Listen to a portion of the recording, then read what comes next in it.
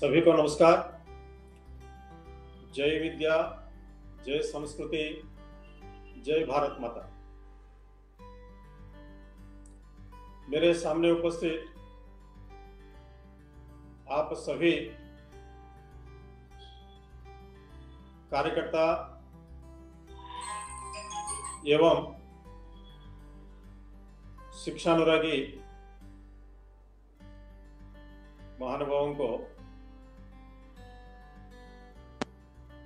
नमस्कार।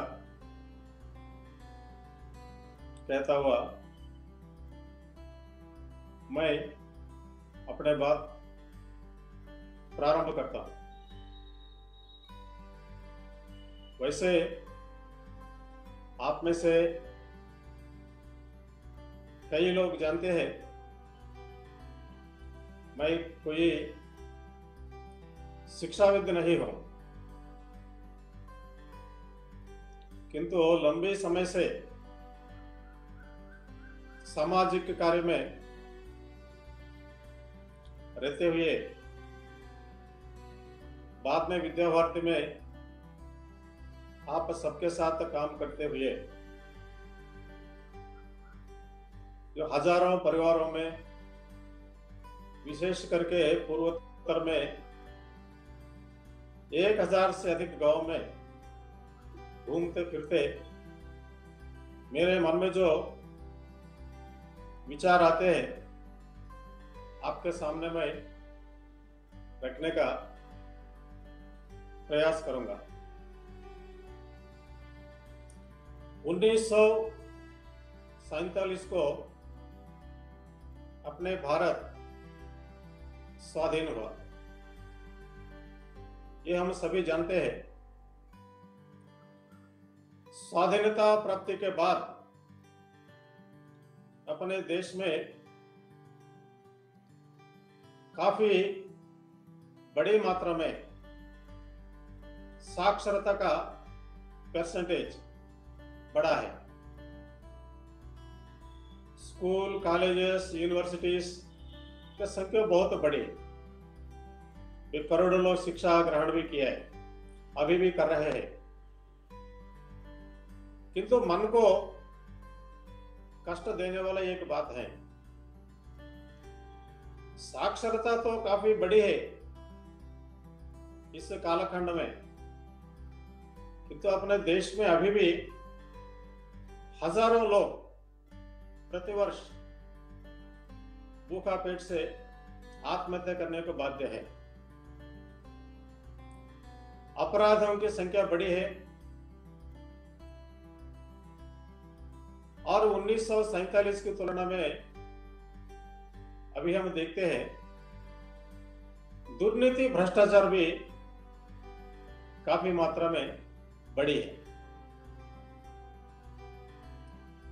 जब तो इसके बारे में सोचता हूँ,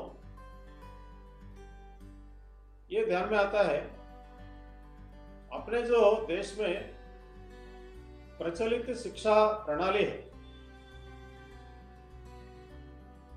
डेढ़ सौ साल से अधिक समय हो गया। अंग्रेज़ों का शासन के समय लॉर्ड मैकाले ने जो शिक्षा प्रणाली शुरू की, देश आज़ाद होने के बाद में भी इस शिक्षा में, शिक्षा प्रणाली में कोई मौलिक अंतर नहीं आया। ये पाश्चात्य शिक्षा प्रणाली के कारण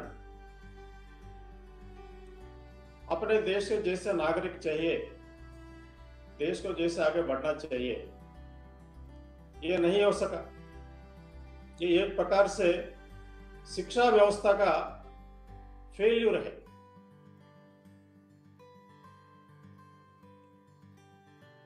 किंतु गता कुछ वर्षों में धीरे धीरे सरकार में भी कई लोग नए नए नए लोग दायित्व में आए। और पूरे विश्व भर में भी इस शिक्षा व्यवस्था के बारे में गहराई से विचार हो रहा है। इसलिए तीन चार वर्ष पूर्व जो यूनेस्को के डेलर्स कमिटी का रिपोर्ट सामने आया उसमें डेलर्स महोदय ने इस शिक्षा के संबंध में बात कहते समय, कुछ शब्द प्रयोग किया उन्होंने। उसमें उन्होंने बताया education should be rooted in culture and committed to progress शिक्षा है, देश काल परिस्थिति के अनुसार स्थानीय संस्कृति के साथ में जुड़े रहना चाहिए। जो प्रत्येक स्थान पर अपना अपना कुछ विशेषताएँ होते उसका भावी पीढ़ी को जानना चाहिए। और दूसरा है कमिटेड टू प्रोग्रेस आगे बढ़ना चाहिए सारी दुनिया। इसके लिए कुछ कॉमन बातों को लेकर पूरी दुनिया में प्रयास होना चाहिए। ये कॉमन बातें जो है वो है जीवन मूल्यों के संबंध में। मानवता से संबंधित कई बातें हैं ह्यूमन वैल्यूज़ सारी दुनिया के लिए लागू है। इसके ओर अभी ये दुनिया का ध्यान आकर्षित हो रहा है। कुछ वर्ष पहले तक किसी व्यक्ति का व्यक्तित्व का मापते समय लोग बोलते थे आई क्यू कैसा है उनका? इंटेलिजेंट क्वेश्चन कैसा है। अभी गत कुछ वर्षों से और एक नया शब्द जुड़ा है, वो है ईक्यू इमोशनल क्वेश्चन कैसा है इनका? आसपास के लोगों के सुख दुख के प्रति इनका संवेदना कैसा है? ये इमोशनल क्वेश्चन इसके बारे में भी ध्यान जा रहा है लोगों का। ये अच्छे परिणाम है। पर आज का जो विषय है वैल्यू बेस्ड एजुकेशन वैल्यूज़ जीवन मूल्य क्या है? कभी कभी कुछ बातें सारे विश्व के लिए सामान्य होते हैं। किंतु तो कई बातें विभिन्न राष्ट्रों के स्थिति, काल अनुसार कुछ अलग भी होते हैं। अपने भारत में मानव जाति के संबंध में, इस सारी प्रकृति के संबंध में सोचते समय एक दृष्टिकोण है किंतु कई बातों में यूरोपियन देशों का, पाश्चात्य लोगों का दृष्टिकोण कुछ अलग होता है। आज हम भारतीय जीवन मूल्य में कुछ प्रमुख बातें। तो उसके बारे में थोड़ा चर्चा करेंगे। अपने देश में प्राचीन काल से ही ये शिक्षा व्यवस्था मुख्यतः गुरुकुल व्यवस्था रही है। एक गुरुकुल आश्रम होता है, वहाँ प्रमुख गुरु एक रहता है, अनुभवी, विद्वान, और उनका सहायक अनेक होते हैं। विभिन्न विषय पढ़ाने वाले, उनका सहयोग करने वाले। तो उसमें पुरुष भी होते थे और महिला भी होते थे। बालिकाओं के लिए ये महिलाएँ पढ़ाते थे कई विषय। ऐसे भी अपने इतिहास में आता है। ये जीवन मूल्यों के संबंध में हम भारतीय संस्कृति के जीवन दर्शन के आधार पर देखते हैं ये पहला जीवन मूल्य है आध्यात्मिकता स्पिरिचुअलिटी हम भारत में ये मानते हैं, आत्मा अमर है। आत्मा शाश्वत है, उनका कभी मृत्यु नहीं रहती। कभी कभी शरीर बदलता है, किंतु आत्मा किंतु एक शरीर से दूसरे शरीर में जाता है, किंतु उसका कभी मृत्यु नहीं होती। अपने भगवत गीता में इसका बात बहुत विस्तार से आता है, सांख्य योग में। अपने देश में ये आध्यात्मिकता, इसका प्रभाव के कारण ही तो अपने महापुरुषों ने शिक्षा दी है समाज को। परहित सरिस धर्म नहीं भाई पर पीड़ा सम नहीं अधमाई। दूसरों को जैसे सहयोग करना, उनको आगे बढ़ने के लिए। तो इससे बढ़कर कोई धर्म नहीं। और अपने स्वार्थ के लिए दूसरों को कष्ट देना, इससे बढ़कर कोई अधमाई। यानी नीच बात भी नहीं है। और अपने देश में ये आध्यात्मिक स्वभाव के कारण ही परिवार व्यवस्था सुदृढ़ रूप से प्राचीन काल से खड़ी रही। और केवल अपने पाँच दस लोग रहने का परिवार ही नहीं, अपने ऋषि मुनियों ने आगे जाकर सारे विश्व को एक परिवार माने। वसुधैव कुटुंब और ये करते समय भी अपने ये ऋषियों का विचार स्पष्ट था। ईशावास्यमिदं सर्वं यत्किंच जगत्याम जगत। तेन त्यक्तेन भुंजीथा माँ कश्चित युद्धन इस सारे विश्व में परमेश्वर वास करते हैं। और तो उनके समक्ष उनको श्रद्धा करते हुए कि हमको जीना है। और अपने आवश्यकता ये ग्रहण करते समय ये सामने रखना है जो न्यूनतम आवश्यकता है, उतना ग्रहण करना। और वो भी बाकी लोगों के साथ में आस पास के लोगों के साथ में शेयर करते हुए इसको ग्रहण करना। और ये भी कहा गया है, जो आवश्यकता से अधिक ग्रहण करता है, इसको अनुचित माना गया है। दूसरा है एकम सत विप्राह बहुधा वदंती सभी लोग मानते हैं, अन्य उपासना के लोग भी। एक शक्ति है जो सारे विश्व को संचालन करता है।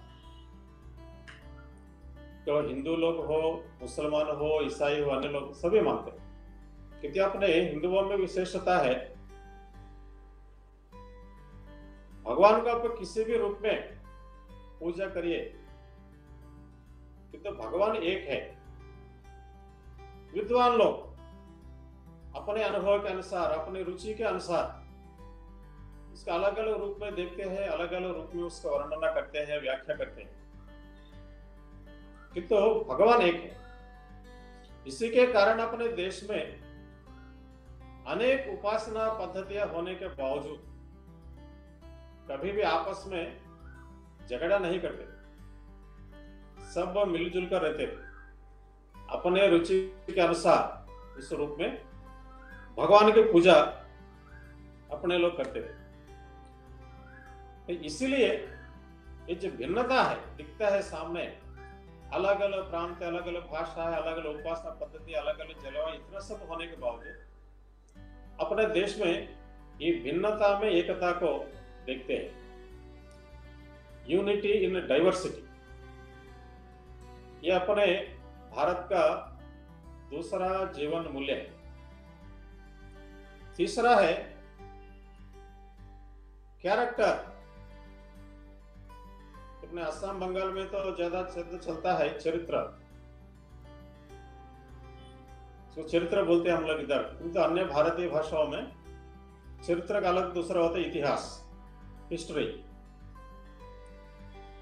किंतु हिंदी में इसका शब्द प्रचलित है शील कैरेक्टर अपने देश में इसको बहुत महत्व देते हैं। इस शील को। इसलिए यहाँ पर संस्कृति विकसित हुई है। मातृवत परदारेशु। परद्रव्येषु लोष्टवत् आत्मवत सर्वभूतेषु। ये भावना। अपने धर्मपत्नी को छोड़कर अन्य सभी नारियों को माता के समान गण्य करना, उनका आदर करना, और दूसरों का संपत्ति है। उसके प्रति लोभ ना रखना। केवल अपना कष्टार्जित को अपना मानना। और सभी प्राणियों में आत्मा का दर्शन करना। ये संस्कृति। जब हम अपने धर्मपत्र छोड़कर बाकी सभी महिलाओं को माता के समान आदर करते हैं। क्या अपने देश में महिलाओं को अत्याचार हो सकता है क्या? नहीं हो सकता। जब दूसरों को धन के प्रति लोभ नहीं है, देश में दुर्नीति, भ्रष्टाचार, ये कैसा बढ़ सकता है? नहीं बढ़ सकता। आत्मवत सर्वभूतेश जब सभी प्राणियों में हम आत्मा का दर्शन करते हैं। कभी दूसरों के ऊपर अत्याचार नहीं कर सकते। दूसरों को कष्ट देने नहीं सकते। किंतु आजकल इस शिक्षा व्यवस्था में विफलता के कारण अपने नए पीढ़ी इन बातों को भूल गई इसको याद दिलाने की आवश्यकता है। इस प्रकार के जो अपने देश में श्रेष्ठ सांस्कृतिक मूल्यों का विकास हुआ है, इसीलिए जो अन्य देशों में शायद कल्पना भी नहीं कर सकते हैं, ऐसे महापुरुषों का जन्म हुआ है सत्यवादी राजा हरिश्चंद्र। सत्य वचन के लिए कहाँ तक जा सकते हैं? पराकाष्ठ है। मर्यादा पुरुषोत्तम श्री राम जीवन के प्रत्येक कदम पर सोच समझकर मर्यादाओं का पालन करना।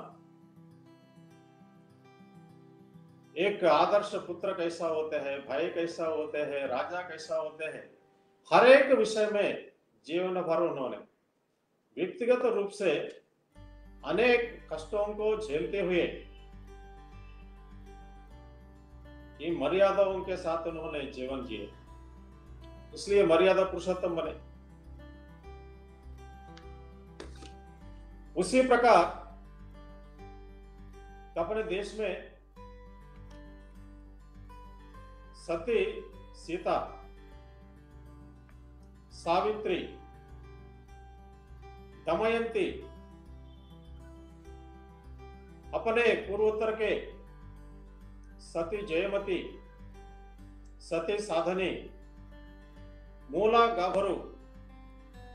तो इस प्रकार के श्रेष्ठ जनों का जन्म हुआ है। और भी उस प्रकार नाम के हम चर्चा करते जाएँगे। समय कम पड़ेगा और नाम लिखते जाएँगे तो कागज़ कम पड़ेंगे। क्योंकि हज़ारों वर्षों का राष्ट्र जीवन में तो बड़ी श्रृंखला है। अपने जीवन मूल्यों के लिए जिए। अपने व्यक्तिगत स्वार्थ के लिए नहीं। चौथा है, कर्तव्य पालन। अपने कर्तव्यों का पालन करना। अपने देश में इसका धर्म का शब्द भी प्रयोग किया है। प्रत्येक व्यक्ति का अपने कुछ कर्तव्य होते हैं। उनको पालन करना है। तभी वह व्यक्ति इस जीवन में, इस दुनिया में और परलोक में ये देह त्यागने के बाद में भी वो एक सार्थक जीवन यापन कर सकते हैं। अपने देश में पूर्वजों ने चार पुरुषार्थों की चर्चा की है। धर्म, अर्थ, काम, मोक्ष। ये चार पुरुषार्थ और बताया है प्रत्येक मनुष्य को इनको पालन करना चाहिए, प्रयास करना चाहिए। इसमें दो है, अर्थ और काम। इस भौतिकवादी दुनिया से जुड़ा है। और धर्म और उसमें जो आध्यात्मिकता का वास्तव में चर्चा की है, अधिकांश। और मोक्ष, ये परलोक की जीवन उससे जुड़ा है। ये अर्थ और काम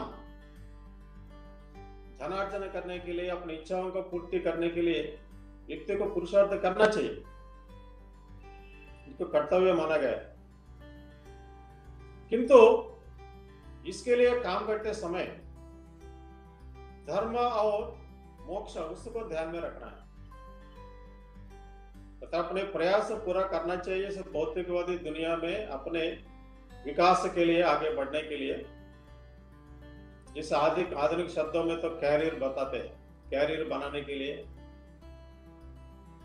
किंतु मर्यादाओं का पालन करना, नीति नियमों के बीच में काम करना। क्योंकि बताया है प्रत्येक व्यक्ति को कि चार पुरुषार्थों के लिए पूरी तरह से प्रयास करना चाहिए। और इसके साथ आता है मातृ देवो भव पितृ देवो भव आचार्य देवो भव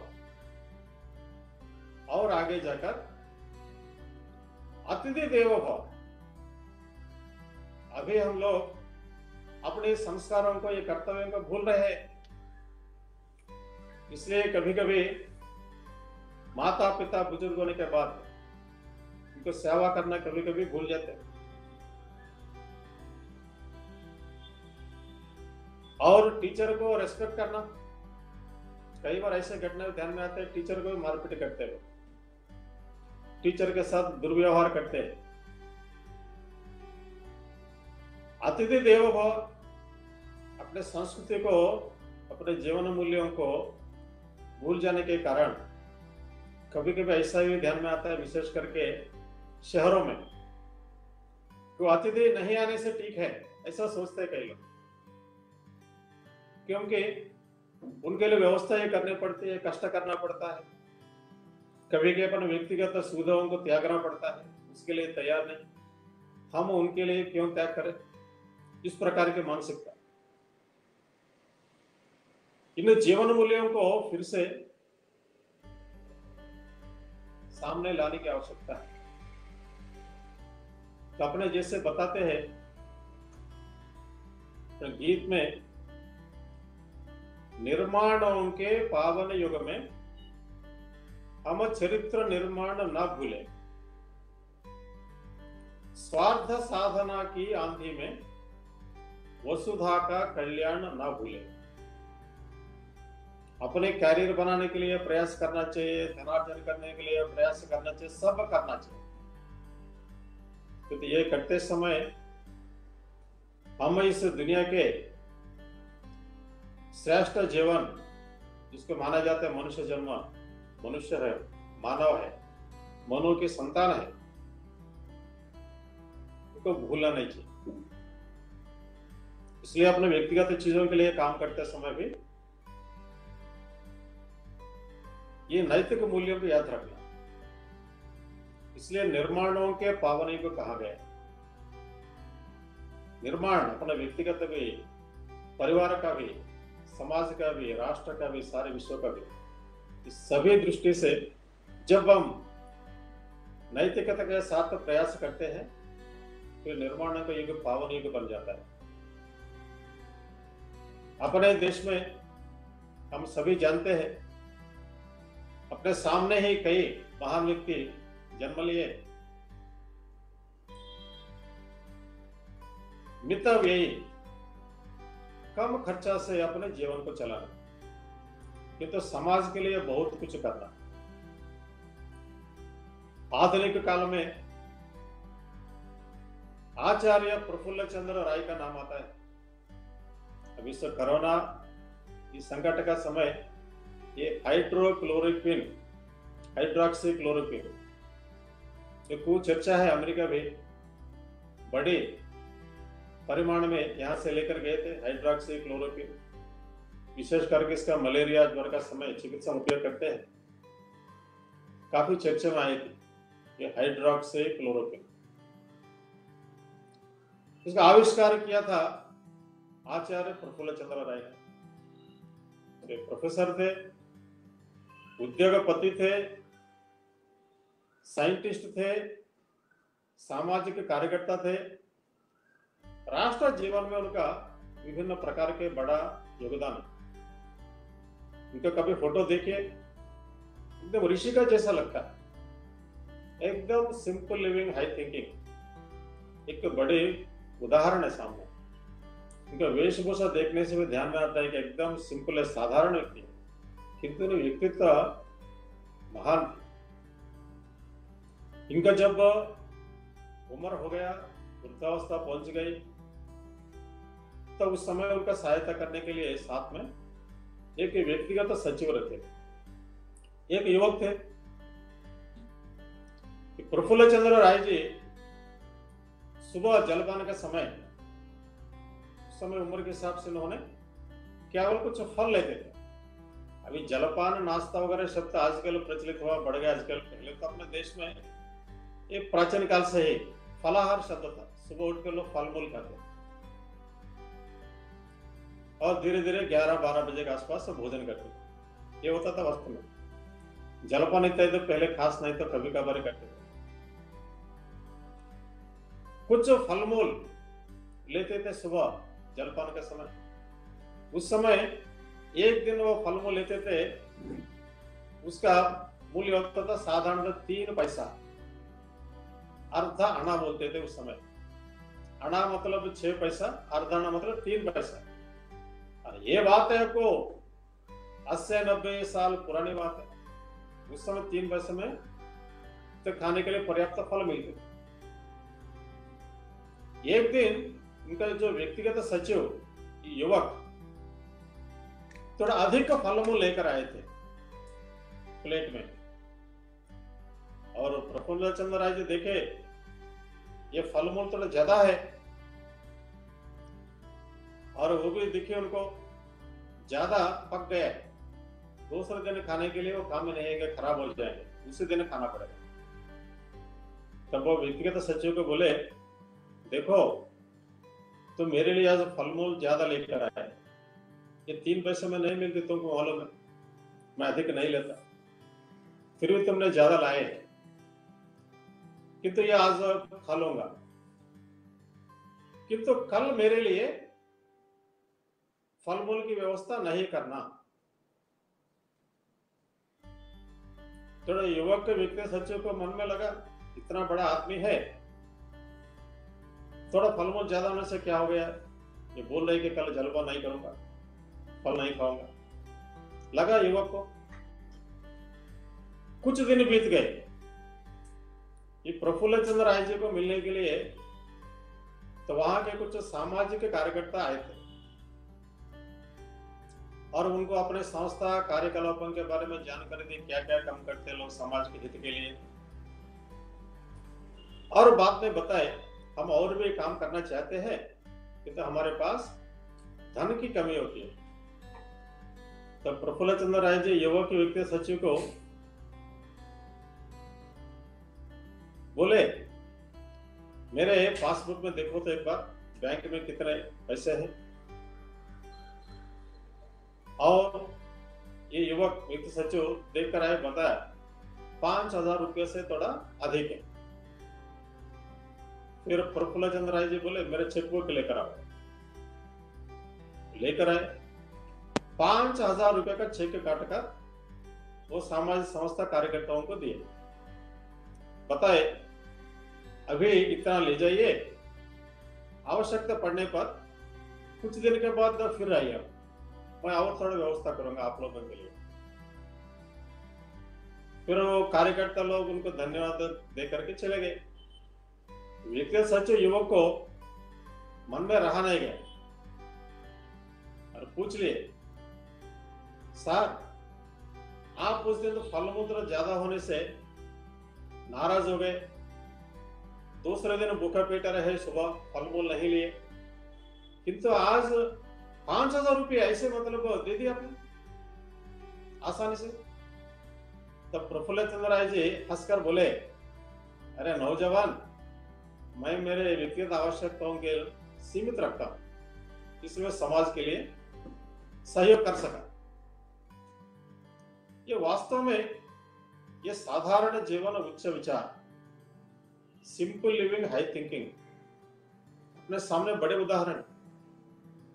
अपने देश में ऐसे लोग मिलते तो हमको प्रेरणा लेनी चाहिए। अपने जीवन मूल्य के बारे में चर्चा करते समय ये पांचवा बात है, पर्यावरण, जल संरक्षण, ऊर्जा संरक्षण इत्यादि पद अपने देश में यह माना गया है, जिसे पहले भी आया, तेना त्यक्तेना भुंजीता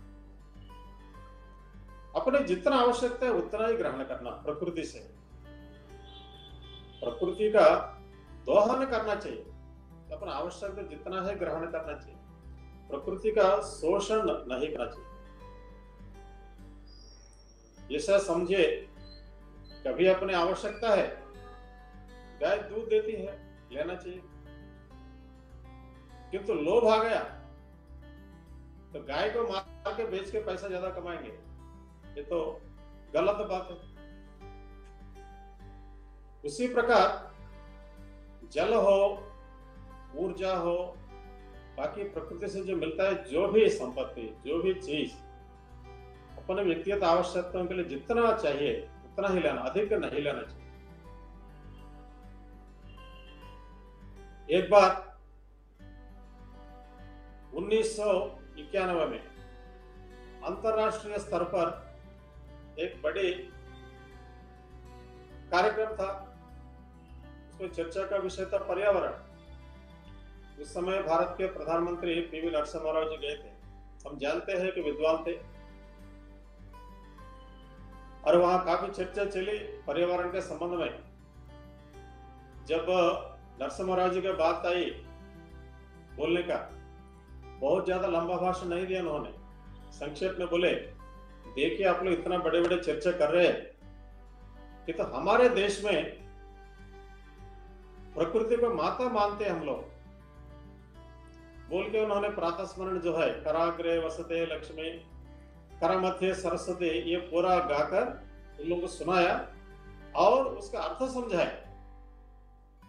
और अंत में बताया, प्रकृति के साथ जब हम लोग सामंजस्य रखकर जीवन चलाते हैं, पर्यावरण समस्या ही पैदा नहीं होगी किंतु हम लोग प्रकृति के साथ सामंजस्य रखने के बजाय तो प्रकृति को हम लोग नष्ट करने में लगे हैं। अत्याशा, प्रकृति का दोहन ठीक है, शोषण ठीक नहीं है। इतना कहा अपने देश में, देखिए माता बचपन से, शिशु को सिखाती है, ये तुलसी माता है, प्रणाम करो भू माता है, प्रणाम करो। गो माता है, प्रणाम करो, गंगा माता है, प्रणाम करो। तो प्रकृति को माता माना है। तो इसलिए प्रकृति के साथ छेड़छाड़ करने का अपने देश में ये संस्कृति नहीं है। देश के इतिहास में जाएँगे तो कई बार ऐसे आपको उदाहरण मिलेंगे। एक पेड़ काटते समय, पहले पेड़ की पूजा करते हैं वनवासी। उसके बाद ही उसका काटते और नए पौधे लगाते पूजा क्यों करना? अनुमति लेना। मैं अपने आवश्यकता के लिए ये पेड़ काटना पड़ रहा है, मुझे क्षमा करना। पूजा करके अनुमति लेकर के तब। ऐसा कई मिलेंगे अपने देश में। ये प्रकृति के साथ सामंजस्य रखकर जीना। तो ये एक बड़े जीवन मूल्य अभी तो हम लोग देख रहे हैं प्रकृति के साथ छेड़छाड़ करने का दुष्परिणाम क्या है? कई प्रकार के दिख रहे हैं। टेम्परेचर बढ़ना, वर्षों का कमी तो कई बार इस प्रकार के बातें आ रहे छठवा है अपने जीवन मूल्यों का एक अलग प्रकार की विशेषता है। हम लोग रूढ़िवादी नहीं है, प्राचीन काल से। आत्म साथीकरण इस पर विश्वास रखते हैं। तो हम लोग को कुछ चीज़ों को लेकर, कुछ धारणाओं को लेकर जी रहे जब कोई नया विषय सामने आता है, अपने देश में तो उसके बारे में विचार करना, और उसमें अच्छा ही है, ग्रहण करना, आगे बढ़ना। रूढ़िवादी नहीं। जो पहले से चली आ रहे हैं, वही मतलब सब कुछ अच्छा है, नया है, एकदम गलत ऐसा नहीं। और नया जो भी है, सब कुछ अच्छा है, पुराना सब कुछ बेकार ऐसा भी नहीं। नए नए चीज़ जब आती है, और उसमें अच्छे बातें ग्रहण करना, अपना कर लेना। आत्म साथीकरण से मेडिकल में बोलते एसिमुलेशन मतलब पूरा इतना अपने शरीर के साथ घुल मिल जाते हैं, अलग अस्तित्व नहीं रहते। एसिमुलेशन साधारणतः हम लोग बोलते हैं हजम करना, भोजन का डाइजेशन ये डाइजेशन से आगे स्टेप है एडवांस्ड स्टेज एसिमुलेशन ये आत्म साथीकरण अपने देश में कई बार आक्रमण हुए, कई आपको ये हुए सब। फिर भी अपने भारत में धीरे धीरे एक एक को एक एक को आत्मसातकरण करते गए। ये आत्मसातकरण नए चीज़ों को ग्रहण करना, आगे बढ़ना, अति पुरातन नित्य नूतन ये बात है। यह अपने भारत दुनिया में अत्यंत प्राचीन देश होते हुए भी नित्य नूतन अभी बना है। इतना विदेशी आक्रमणकार आए, इतना विध्वंस किए। ग्रीक होर्ण कुशान, बारबर कितना कितना लोग आए? बाद के काल में मुसलमान आए, सब आए क्रिश्चियन फिर भी, अभी भी हिंदुस्तान में एक सौ करोड़ से ज़्यादा हिंदू जीवित है। मृत्युंजय भारत। ये अपने देश के एक बड़े मूल्य है आत्मसाध्यकरण नए चीज़ों को तो उसके बारे में विचार करना, विश्लेषण करना, अच्छे चीज़ों को ग्रहण करना और आगे बढ़ना। तो अपने यहाँ जीवन पुकरी की पानी जैसा नहीं है, एक जगह में पड़ा रहता है ऐसे नदी प्रवाह का जैसा है, आगे बढ़ता जाता है, आगे बढ़ता जाता है। तो इस प्रकार के जीवन मूल्य अपने वैल्यूज़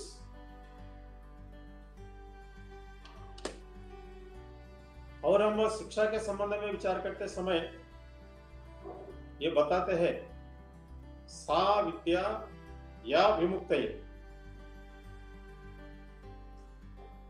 शिक्षा का लक्ष्य क्या है? बताते हैं, सा विद्या या विमुक्त जो मोक्ष प्रदान करती है, वही विद्या है। तो मोक्ष मतलब आध्यात्मिक रूप से वो एक अलग प्रकार की। किंतु इस दुनिया में भी, इस भौतिकवादी समाज में अपने जो अंधविश्वास है, रूढ़ी कुरुति, उससे मुक्ति चाहिए। दहेज तथा अस्पृश्यता, मद्यपान, कई ऐसे जो समाज में अनुचित बातें हैं, उनसे मुक्ति पाना। यह भी आवश्यक है। गरीबी से मुक्ति मिलनी चाहिए। तो इस प्रकार का इस सा विद्या या विमुक्त है। तो इसके लिए प्रयास करना। ये शिक्षा का एक महान लक्ष्य है। स्वामी विवेकानंद शिक्षा के बारे में कहते समय दो प्रमुख बातें बोलते थे। पहली बात, शिक्षा के माध्यम से मनुष्य का शील निर्माण होना चाहिए, जो चरित्र गठन बोलते हैं हम लोग कैरेक्टर बिल्डिंग ये कैरेक्टर बिल्डिंग होना चाहिए। सत संस्कार उनको मिलना चाहिए। दूसरा है, अपने पैर पर खड़े होने के लिए स्वावलंबन, उस प्रकार की शिक्षा मिलना चाहिए। एक तो अपने व्यक्तिगत रूप से संस्कारित हो। दूसरा, इस दुनिया में जीने के लिए जो आवश्यकता है, उसको ग्रहण करें। हम जब तो इसके बारे में चर्चा करते हैं। शिक्षा ग्रहण करने के बाद मनुष्य को आत्मविश्वास बढ़ना चाहिए। ये आत्मविश्वास के बिना शिक्षा का क्या फ़ायदा है? आदमी डरते रहते हैं हमेशा कन्फ्यूज़न में रहते हैं तो उससे कुछ आगे बढ़ नहीं सकते कोई। इसलिए प्रचंड आत्मविश्वास चाहिए मनुष्य को आगे बढ़ने के लिए। जो शिक्षा ग्रहण करता है उनको मन में विषयों के बारे में स्पष्टता निर्भीकता ये सब आना चाहिए।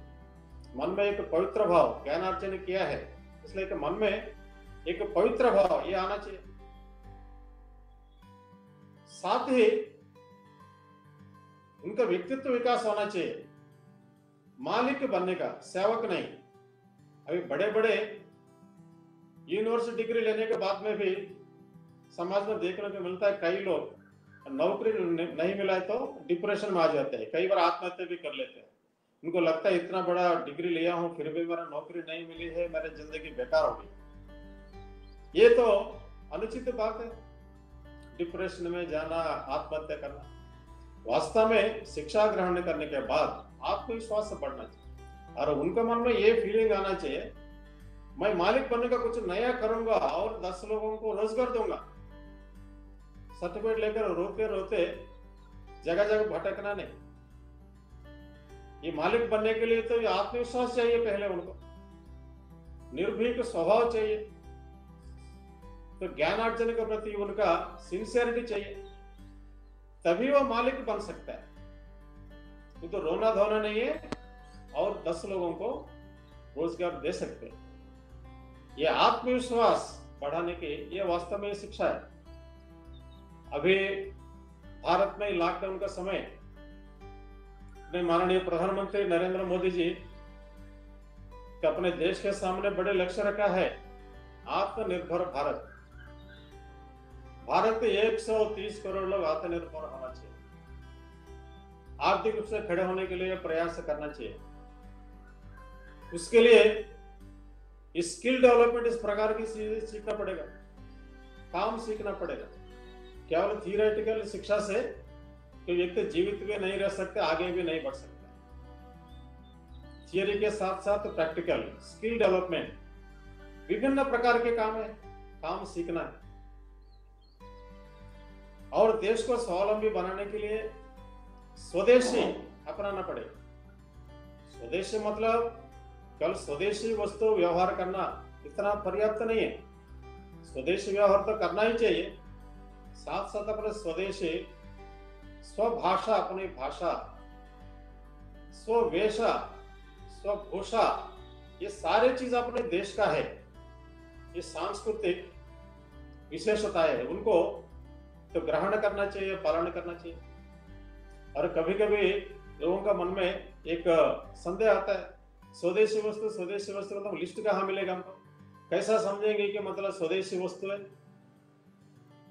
तो उसका पैकेट के ऊपर देखिए कभी।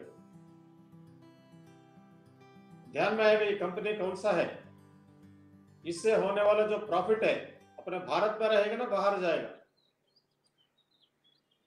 तो वो वस्तु खरीदने के बाद वो प्रॉफिट, यदि अपने भारत में रहता है, उसको स्वदेशी मानना चाहिए। तो वस्तु खरीदने के बाद में प्रॉफिट है, अपने भारत में रहेगा, बाहर नहीं जाएगा। इसको स्वदेशी मानना चाहिए। इस स्वदेशी भावना और इस स्किल डेवलपमेंट इस दृष्टि से लोग प्रयास करेंगे तो ये आत्मनिर्भर भारत इस विषय में आगे बढ़ते हैं।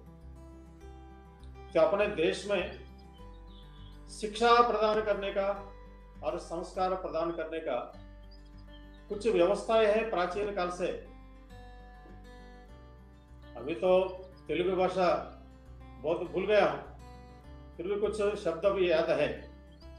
तो अपने देश में शिक्षा प्रदान करने के लिए, संस्कार प्रदान करने के लिए तीन प्रमुख व्यवस्थाएँ रही है प्राचीन काल से।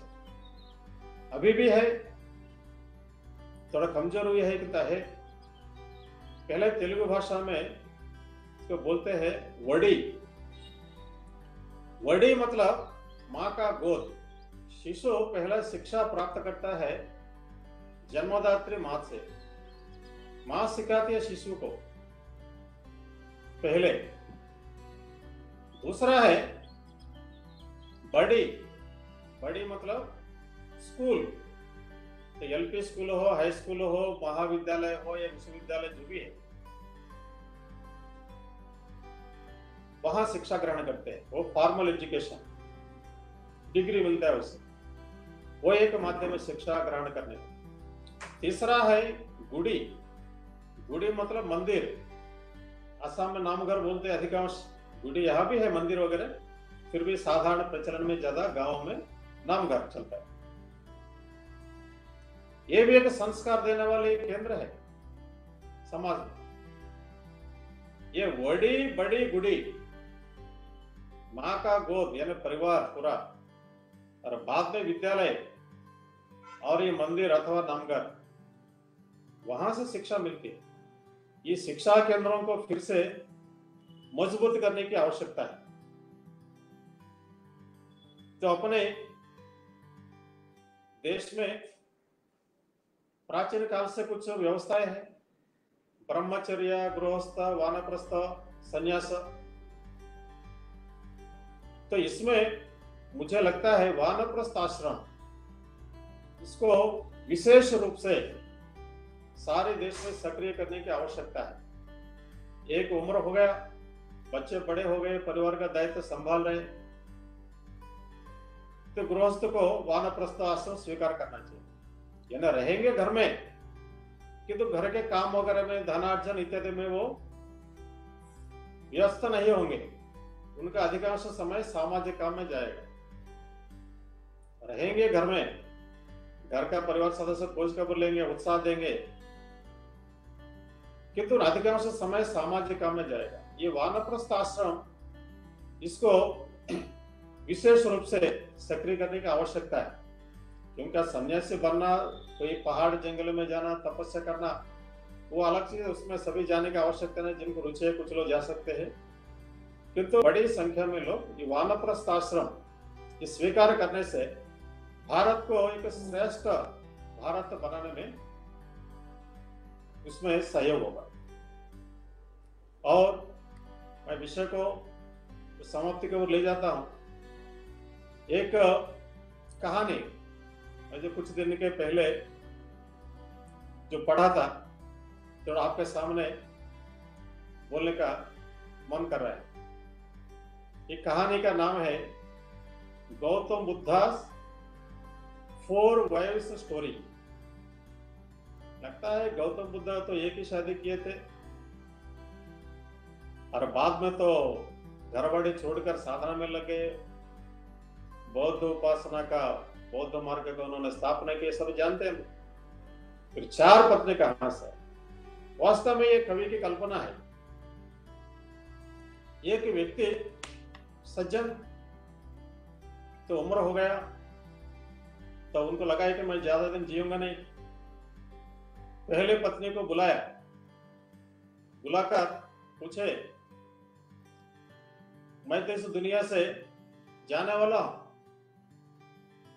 कुछ समय के बाद, तुम मेरे साथ चलोगे? तो पहले पत्नी बोले, नहीं, मैं नहीं चलूँगी। तभी सज्जन ने बोले, मैं तुमको बहुत प्यार किया हो, बहुत कुछ परिश्रम किया हो, बहुत कुछ धन भी खर्च किया हूँ तुम्हारे लिए।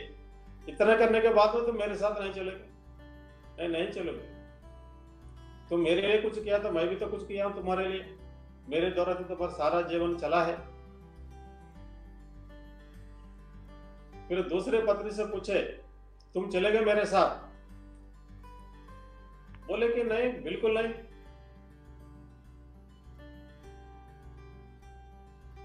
तो पूछे, भाई तो आपके लिए कितना सपना देखे थे, कितना प्रयास किए थे?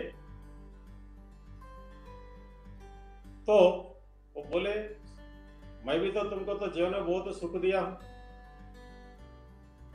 इसलिए मुझे दोषारोप नहीं कर सकते। मैं नहीं जाऊँगी तुम्हारे साथ। और तीसरे पत्नी को बुलाए, तुम चलोगे कि नहीं मेरे साथ? बोले कि थोड़ी दूर तक जाऊँगी। क्योंकि बहुत कुछ मेरे लिए सोचा है, मैं थोड़ी दूर तक जाऊँगी। तुम्हारा जब मृत्यु होगी, स्मशान तक आऊँगी तुम्हारे साथ उससे आगे नहीं। चौथा पत्नी बोली, मैं चलूँगी तुम्हारे साथ। वास्तव में ये चार पत्नियाँ हैं। पहले पत्नी जो कवि की कल्पना है, शरीर। शरीर के लिए उन्होंने बहुत कुछ किए, पैसा भी खर्च किए, बहुत कुछ ख्याल रखा, सुंदर अच्छे से रखने के लिए। क्योंकि शरीर तो हाथ में इस दुनिया का छोड़ने तो कहाँ जाएगा? वही मतलब इसका दान संस्कार होता है। दूसरा पत्नी, वो है उनका भाग्य, फॉर्च्यून। उन्होंने बहुत कुछ सोचा है, समझा है, प्रयास किया है अपने एम्बिशन से पूरा करने के लिए, पैसा कमाया, बहुत लग्जरियस ये सब इकट्ठा किए। कि तो वो तो आत्मी मृत्यु होने के बाद कहीं नहीं जाते। साथ में। तीसरा पत्नी ये फ्रेंड सर्किल है फ्रेंड्स है रिलेटिव्स है। ये लोग तो कहाँ तक जाएँगे? स्मशान तक ही जाएँगे। आगे नहीं। चौथा पत्नी है कर्म फल। हम इस दुनिया में जो करते हैं, वो साथ में जाती है, मृत्यु के बाद में कि तब हिंदू लोग पुनर्जन्म में विश्वास करते हैं साइंटिफिक भी है। वो साथ में जाते, कर्मफल कभी समाप्त नहीं होता, नष्ट नहीं होता, साथ में जाती है। वो कर्मफल के आधार पर व्यक्ति दूसरा जन्म लेता है। इसलिए गौतम बुद्धा का जो चार पत्नियों का जो कहानी ये शरीर और अपने भाग्य और अपने बंधु, मित्र रिलेटिव इन के बारे में लोग लिखते हैं। उसका अपने एक सीमा है। इसे भौतिकवादी दुनिया में आवश्यक है। उसके हम लोग माया बोलने से भी, जो भी बोलने से भी, ये रियलिटी है इस दुनिया में। कि तो कर्म फल है, ये ज़्यादा महत्वपूर्ण है। ये साथ में जाने वाला है। तो अपने ये जो वैल्यू एजुकेशन तो ये करते समय हम लोगों को विद्यालय में तो इसके बारे में तो प्रयास करना चाहिए विद्या भारती विद्यालय में विशेष करके। जब अपने विद्यार्थियों के साथ में संपर्क करते समय सब देखना चाहिए। एक तो अपने विद्या भारती विशेषताएँ है, अभिभावक संपर्क। उसके द्वारा परिवार में भी अच्छा वातावरण बनाने में छात्र के विकास के लिए सुविधा मिलती है। अभिभावक संपर्क करना चाहिए। शिशु वाटिका का जो विशेषता है का खा गा। कहानी, खेल, गीत, ये भी अपनी विशेषता है। सुलेख। हैंड राइटिंग अच्छा होना चाहिए। इसके लिए प्रैक्टिस करना पड़ता है। अभी नया टेक्नोलॉजी आ रहा था कंप्यूटर कंप्यूटर मतलब सुलेख का महत्व कम नहीं होता है। वो तो हमेशा रहने वाली जितना डीडीपी करने से भी, जो भी करने से भी हाथ से सुंदर अक्षर लिखने का अभ्यास होना चाहिए विद्यार्थी को छात्र संसद स्टूडेंट्स पार्लियामेंट है। तो हम लोग शिशु सभा, छात्र सभा तो इस प्रकार जो बोलते हैं, ये भी अपने विद्यावन की विशेषता है। नए पीढ़ी में गुणों का विकास करने के लिए, विशेष करके नेतृत्व गुणों का। संस्कृति बोध परियोजना। अपने देश के बारे में सब अच्छी जानकारी देना। नवाचार, नए नए प्रयोग करना। ये भी अपने विद्याभर की विशेषता है, प्रारंभ से, करना चाहिए। और पंच प्राण को सक्रिय रखना। पंच प्राण मतलब विद्यालय का जो विद्यार्थी है, आचार्य है, प्रबंध समिति है, अभिभावक है और समाज में जो अपने वेलविशर्स, ये पाँच मिलकर पंच प्राण बोलते हैं विद्यालय कहीं कहीं विद्यालय परिवार को बोलते हैं। विभिन्न प्रशिक्षण वर्ग के माध्यम से, संपर्क के माध्यम से, कार्यक्रमों के माध्यम से ये पंच प्राण को सक्रिय रखना। तो इसके माध्यम से हम लोग वैल्यू एजुकेशन इस दिशा में काफ़ी कुछ कर सकते हैं। और इन बातों को केवल अपने विद्या भारती विद्यालय में नहीं, विद्या भारती विद्यालय के बाहर सरकारी, गैर सरकारी विद्यालय में भी ले जाना चाहिए। और अंत में इस सदी के मतलब वास्तव में बीसवीं सदी के जो महान इतिहासकारों में से एक, आर्नाल्ड टाइन भी इंग्लैंड के तो उन्होंने दुनिया के 26 इस सभ्यता संस्कृतियों का गहराई से अध्ययन किया। गहराई से अध्ययन किया उन्होंने उसके बाद उन्होंने एक किताब लिखे स्टडी ऑफ़ हिस्ट्री बारह वॉल्यूम्स है उसमें।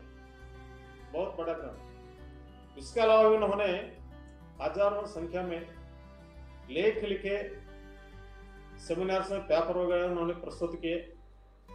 इसलिए महान इतिहासकारों में उनका एक नाम आता है। इतने अध्ययन करने के बाद दुनिया का अंत में ये निष्कर्ष पर आए कि आर्नाल्ड टायन भी twenty first century will be Hindu century